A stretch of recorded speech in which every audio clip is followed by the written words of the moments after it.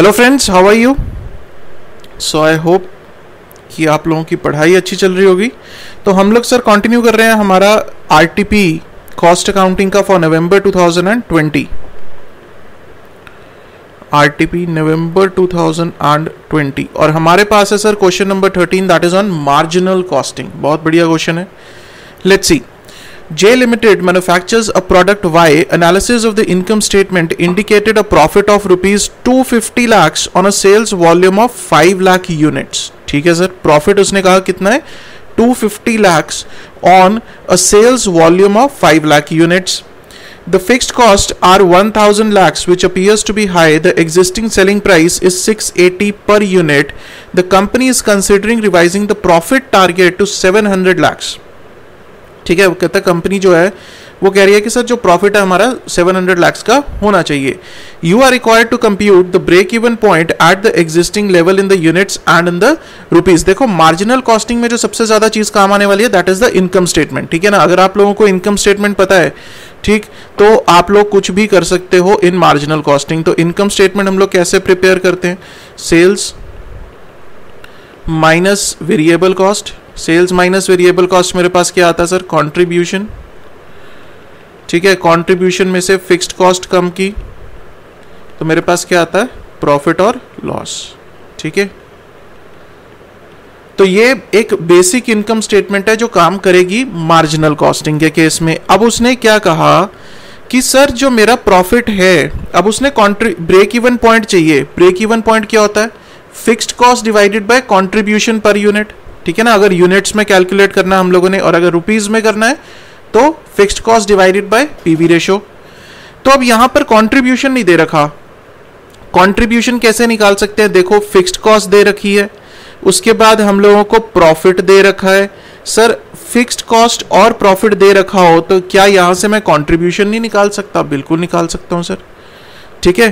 अब per unit करने के लिए, चलो सर, देखते हैं sales volume is five lakh units computation of existing contribution कि अभी जो एग्जिस्टिंग है, उसका कॉन्ट्रीब्यूशन कितना है? सेल्स दे रखी है हमें per unit six eighty rupees की सेलिंग प्राइस है और टोटल जो है फाइव लाख से मल्टीप्लाई करें तो thirty four hundred in lakhs fixed cost fixed cost sir दे रखी है वन थाउज़ेंड लैक्स तो यहाँ पर सर टू हंड्रेड क्यों लिया? उसने सर कुछ नहीं किया, उसने किया one thousand lakhs divided by five lakh ठीक है? इन लैक्स किया है, इस कारण से 1000 डिवाइडेड बाय 5 करेंगे तो पर यूनिट 200 लैक्स की फिक्स कॉस्ट हमारे पास आएगी। ठीक? उसके बाद प्रॉफिट दे रखा है आपको। प्रॉफिट कितना है? 250 lakhs on a sales volume of 5 lakh तो पर यूनिट कितना हुआ? 250 डिवाइडेड बाय 5 तो 50 का पर यूनिट हुआ। 50 लैक्स पर यूनिट ठीक है? क्योंकि उसने क्या कहा था? 250 fifty lakhs on a sales volume of 5 lakhs तो इन लैक्स में हम लोग बात कर रहे हैं तो 250 डिवाइडेड बाय 5 किया मैंने। क्लियर है? तो ये मेरे पास टोटल आया। अब profit plus contribution is equal to contri sorry profit fixed cost plus profit is equal to contribution of two fifty rupees कोई डाउट और मेरे पास सेल्स दे रखी है सेलिंग प्राइस कितनी है? 680 अगर सेलिंग प्राइस में से कंट्रीब्यूशन को माइनस कर दूँ तो मेरे पास क्या आएगी? वेरिएबल कॉस्ट आ जाएगी। Sales minus contribution will give me the variable cost of 430 कोई डाउट ठीक है ना? बेसिकली हमने नीचे से शुरू किया इनकम स्टेटमेंट को बनाना। हमने रिवर्स वे में इनकम स्टेटमेंट बनाया। कैसे? आप लोगों को प्रॉफिट गिवन था। कितना सर? 50 का। आप लोगों को फिक्स्ड कॉस्ट गिवन थी कितनी सर? 200 की। तो मेरे पास कंट्रीब्यूशन कितना आया? कंट्रीब्यूशन आ गया सर 250 का। उसके बाद आप लोगों को सेल्स गिवन थी कितनी? 680 की। ठीक है? तो मेरे पास बैलेंसिंग फिगर क्या आई इसकी? वेरिएबल कॉस्ट दैट इज़ 430 ठीक? तो ये दो फिगर्स हम लोगों ने फाइंड कर ली from the information that is given above यहाँ पर अब ध्यान रखने वाली बात है कि सर कहाँ पर लैक्स में है तो उसने कन्वर्जन किस तरह से किया है that you need to be careful about ठीक है? जब अटेम्प्ट करोगे तो इस चीज़ का ध्यान रखना कि किस तरह से लैक्स को कन्वर्ट किया गया है। अब कुछ बच्चे क्या करेंगे सर? थाउज़ेंड को फाइव लैक्स से कोशिश करेंगे डिवाइड करने की। ठीक है? थाउज़ेंड लैक्स है तो डिवाइड किससे होगा? लैक्स में करोगे तो फाइव से डिवाइड होगा, सर। ठीक? तो थोड़ा सा ये छोटी छोटी चीज़ें हैं जहाँ पर गलती के चांसेस रहते हैं। उसके बाद break even sales in units in units हम लोगों को निकालनी है। तो fixed cost by contribution per unit कि कितना हम लोग कंट्रीब्यूशन कमा रहे हैं कि सर हम अपनी फिक्स्ड कॉस्ट को कवर कर पा रहे हैं। ब्रेक इवन पॉइंट क्या होता है? जहाँ पर contribution is equal to fixed cost यही होता ना? Contribution is equal to fixed cost तो कितने यूनिट्स बेच रहे हैं कि जहाँ पर हमारा कंट्रीब्यूशन जो है वो फिक्स्ड कॉस्ट के बराबर होगा? ठीक है जी? तो यहाँ से मेरे पास फिक्स्ड कॉस्ट कितनी है? वन थाउज़ेंड लाख की divided by contribution per unit is two fifty ठीक तो फोर लाख यूनिट्स अगर मैं बेचता हूँ तो वहाँ से मेरा ब्रेक इवन पॉइंट आएगा। और अगर रुपीज़ में निकालना है तो इस फोर लाख को मैं अपनी सेलिंग प्राइस से मल्टीप्लाई कर दूँगा, या फिर उसके लिए दूसरा मेथड होता है पीवी रेशियो कैलकुलेट करना। पीवी रेशियो कैसे? Contribution by sales into hundred PV ratio calculate किया तो fixed cost divided by PV ratio sir, एक ही चीज़ है, एक ही आंसर आएगा। राइट सेम चीज़ है। सेम चीज़ को लिखने के दो मेथड्स हैं, बस। और कुछ नहीं है। ठीक है ना? देखो सर सेम चीज़ है क्या? Fixed cost divided by contribution per unit ये तो हो गया आपके पास यूनिट्स में। अगर इसको रुपीज़ में निकालना है मल्टीप्लाइड बाय सेलिंग प्राइस करोगे। ठीक है ना? अब ये चीज़ क्या बनती है? अगर हम लोग इस चीज़ को देखें this is nothing but my one divided by PV ratio reverse of PV ratio है या नहीं है? पीवी रेशो क्या होता है? कॉन्ट्रीब्यूशन बाय सेल्स तो अगर सेल्स बाय कंट्रीब्यूशन लिखा तो one divided by PV ratio तो इसको हम लोग लिख सकते हैं ना fixed cost by PV ratio sir same ही चीज़ है। ठीक है? सेम चीज़ को लिखने के दो मेथड्स हैं, क्योंकि मार्जिनल कॉस्टिंग एक ऐसा चैप्टर है जहाँ पर आप लोग एक क्वेश्चन को, एक पार्ट को कई तरह से अटेम्प्ट कर सकते हो। चलो सर, दूसरा उसने क्या पूछा हमसे? दूसरा उसने पूछा हम लोगों से the number of units required to be sold to earn a target profit अब टारगेट प्रॉफिट कितना है? सेवन हंड्रेड लैक्स का। ठीक है ना? तो कहता है कि कितने यूनिट्स मुझे बेचने पड़ेंगे कि मैं 700 लाख का प्रॉफिट कमा पाऊँ? अब क्या है सर? देखो, अब ध्यान से सुनना। अब मेरा जो प्रॉफिट का टारगेट है दैट इज़ 700 लैक्स ठीक है? जो मेरी फिक्स्ड कॉस्ट है, वो तो मेरी सेम ही रहेगी ना? तो यहाँ से अगर मैं कंट्रीब्यूशन निकाल लूँ, यहाँ से अगर मैं 700 लैक्स है सर तो यहाँ पे मैं फिक्स्ड कॉस्ट को 1000 लैक्स ले लेता हूँ, ठीक है? पर यूनिट नहीं ले रहा मैं उसको। तो सेवन हंड्रेड प्लस ना तो मेरा कंट्रीब्यूशन कितना आएगा? सेवनटीन हंड्रेड लैक्स का।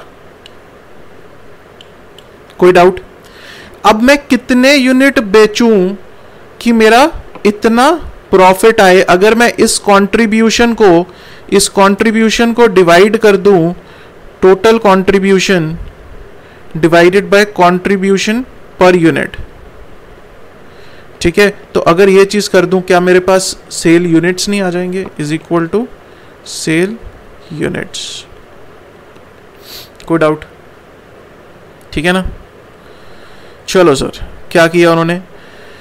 उसने भी यही किया number of unit to achieve 700 lakhs desired contribution is fixed cost plus target profit 1000 plus 700 1700 number of units कितने बेचने हैं? जितना डिजायर्ड कंट्रीब्यूशन है divided by contribution per unit ठीक है जी? तो 1700 lakh divided by 250 that gives me the 6 lakh 80,000 units में अगर बेचूँगा तब जाकर मैं 700 लैक्स का प्रॉफिट कमा पाऊँगा।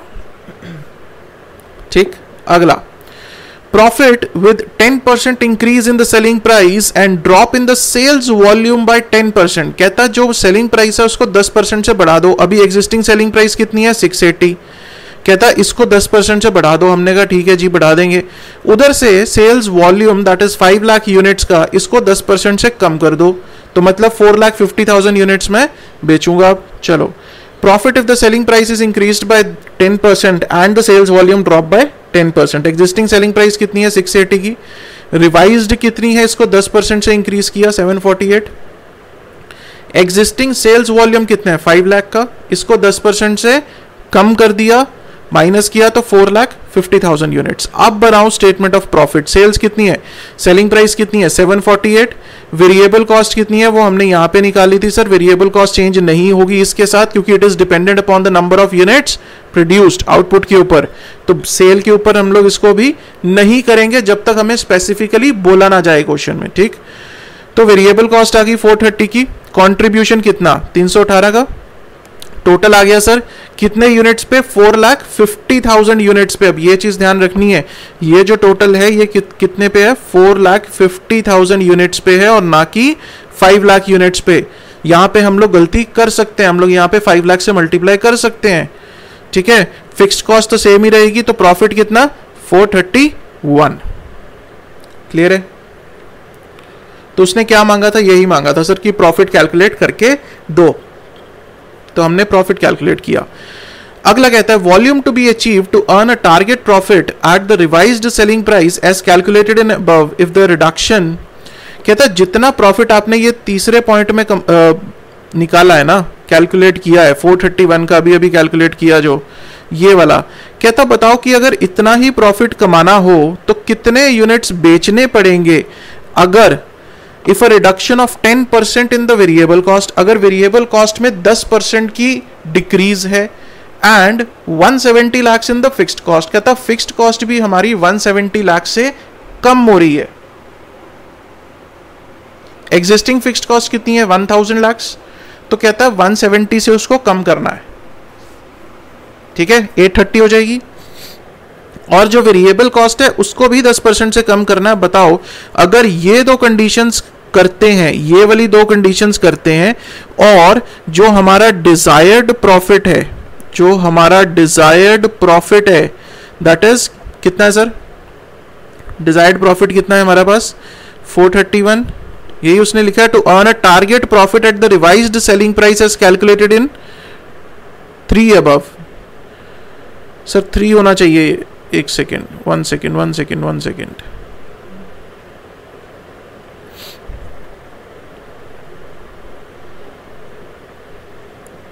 sorry उसने क्या कहा है? उसने टू अबव का है। थ्री नहीं, उसने टू अबव का है। यहाँ पर। ठीक है ना? तो मतलब टारगेट प्रॉफिट कितना हो गया? सेवन हंड्रेड लैक्स का हो गया नॉट फोर थर्टी वन का। ठीक है? सेवन हंड्रेड लैक्स का। उसने टू कहा था ना कि थ्री अबव चलो sir volume to be achieved to earn a target profit of 700 lakhs with the revised selling price and reduction of 10 percent in the variable cost अब सेलिंग प्राइस यहाँ पर कितनी लेनी है? 748 लेनी है। 748 वेरिएबल कॉस्ट को 10 परसेंट से कम करना है और फिक्स कॉस्ट को भी 170 लाख से कम करना है। Revise selling price 748 variable cost existing कितनी है? 430 10 परसेंट से कम करेंगे इसको। तो मेरे पास 387 आएगी। Total fixed cost existing is 1000 कम कितने से करनी है? 170 से। तो 830 लाख की मेरे पास रिवाइज्ड फिक्स्ड कॉस्ट है। तो मैं यहाँ से कंट्रीब्यूशन निकाल लूँगा अपना। कैसे? Revised selling price minus revised variable cost per unit क्योंकि मेरे पास सेलिंग प्राइस भी थी 748 की, मेरे पास रिवाइज्ड वेरिएबल कॉस्ट भी थी 387 की। तो मेरे पास कंट्रीब्यूशन आ जाएगा सेल्स माइनस वेरिएबल कॉस्ट ठीक है? सेल्स माइनस वेरिएबल कॉस्ट से मेरे पास आ जाएगा सर 361 डिजायर्ड कंट्रीब्यूशन कितना है? Revised fixed cost plus total profit ठीक? This is contribution per unit एक यूनिट पे कितना कंट्रीब्यूशन और टोटल कंट्रीब्यूशन मुझे कितना चाहिए? वो मेरा कहाँ से आएगा? Fixed cost plus profit fixed cost 830 lakh की है प्रॉफिट 700 लाख का डिजायर्ड है। ठीक है? तो 1530 का टोटल कंट्रीब्यूशन मेरा रिक्वायर्ड है। This is contribution per unit and this is total contribution तो नंबर ऑफ़ यूनिट्स निकालने हो तो desired contribution that is total contribution divided by contribution per unit कोई डाउट ठीक है? जैसे ऊपर किया था। So you need to be very careful कि आप क्वेश्चन उसको ध्यान से पढ़ो कि वो क्या मांग रहा है आप लोगों से। ठीक है? और ये एक ऐसा चैप्टर है कि सर, सारा कुछ इसी के आसपास घूमना है। जो पढ़ा है हमने, जो लेक्चर्स में कर रखा है, उसी के आसपास पूरा के पूरा चैप्टर घूमेगा और कुछ नहीं है। उसके अलावा मार्जिनल कॉस्टिंग इधर उधर जाएगा ही नहीं। ठीक है ना? जितना हम लोगों ने पढ़ा है, जितने हम लोगों ने फॉर्मूलाज उसमें कवर किए हैं, सब कुछ उसी के आसपास घूमेगा सर, सब कुछ। उसके बाहर नहीं जाने वाला। राइट सिर्फ़ और सिर्फ़ आपको आना क्या चाहिए कि फॉर्मूला के साथ प्ले किस तरह से करना है? कौन सी इंफॉर्मेशन दे रखी है? कौन सी इन्फॉर्मेशन से कौन सी इन्फॉर्मेशन निकाल सकते हैं हम लोग? So that is very very important और उसके लिए आप लोग क्या करो? मार्जिनल कॉस्टिंग में ना हमेशा एक एक चीज़ बता देता हूँ, क्या कर सकते हो? हमेशा ये इनकम स्टेटमेंट जो है ना, वो बना के रख लो पहले कहीं साइड पे। ठीक है ना रफ में ये इनकम स्टेटमेंट बना के रख लो तो जो इन्फॉर्मेशन दे रखी है उसमें भरते जाओ, फिर देखो क्या निकाल सकते हैं हम लोग। So this is one way of attempting the marginal costing question ठीक है सर तो इसके साथ हमारा मार्जिनल कॉस्टिंग का जो क्वेश्चन था, वो हो गया है, खत्म। अब हमारे पास सिर्फ़ और सिर्फ़ एक लास्ट क्वेश्चन बचा है that is on budgetary control a very easy question very interesting question on budgetary control ठीक? तो वो हम लोग अब टेकअप करेंगे नेक्स्ट लेक्चर में, ठीक है जी? तो see you guys in the next lecture that's all for this thank you so much